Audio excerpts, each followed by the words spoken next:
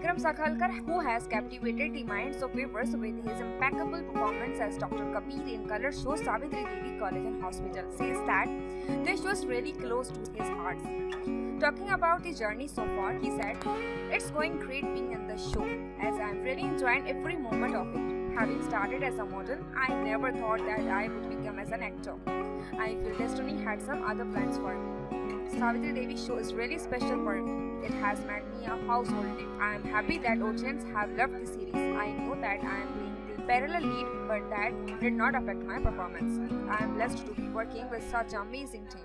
When asked about his co-stars, he added, Varun and Sanchi are amazing people. Although I was a newcomer, I never felt like one. I was welcomed with open arms.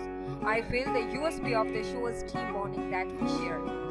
We wish you great success. Are you?